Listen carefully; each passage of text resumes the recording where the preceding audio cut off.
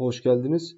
E, bu videoda arkadaşlar e, tanınan 5 farklı büyük ismin altcoin'leri hakkında konuşacağız. Daha doğrusu düzenli yatırım yaptıkları ve bunu bizzat belirttikleri altcoin'ler hakkında. Tabii ki burada anlatılanlar yatırım tavsiyesi değildir. Kimseye al ya da sat demiyoruz. Karınızdan da zararınızdan da sorumlusunuz. Abone olup videoyu beğenmenizi rica ediyorum. Şimdiden çok teşekkür ederim. E, bunlardan ilki sayılır arkadaşlar.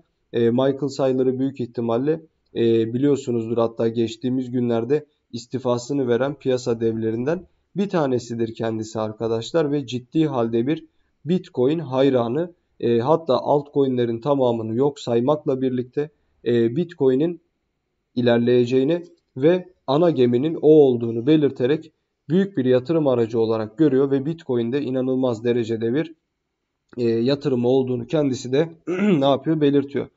Bir diğeri arkadaşlar Ethereum'a ciddi yatırımı olan Mark Cuban. E, Mark Cuban da arkadaşlar hakeza aynı şekilde bir e, ekonomist kendisi ve Sayler'ın aksine aslında görüşü Sayler gibi olmakla birlikte bir Ethereum sevdalısı.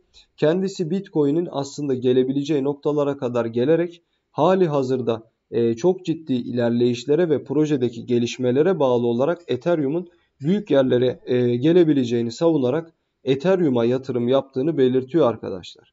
Bir diğeri Elon Musk. Elon Musk'ın zaten ne yaptığını hepiniz gayet iyi biliyorsunuz.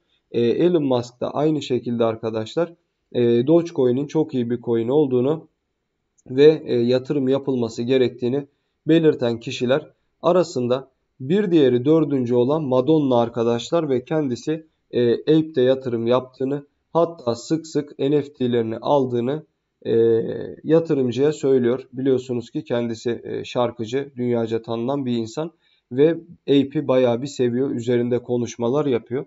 Bunlardan sonuncusu eski bir ABD yetkilisi olan David arkadaşlar ve kendisi de e, Shiba'yı inanılmaz derecede övüyor ve çok iyi yerlere geleceğini belirterek kendi yatırımlarının da bulunduğunu zaten biliyoruz sevgili arkadaşlar. Özellikle buradaki 5 coin'de e, burada saydığımız 5 insanla sınırlı olmamakla birlikte çok güzel yükseliş potansiyeli olan 5 projedir. İzlediğiniz için çok teşekkür ediyorum. Abone olup videoyu beğenebilirsiniz. Bol kazançlar dilerim herkese. Hoşçakalın.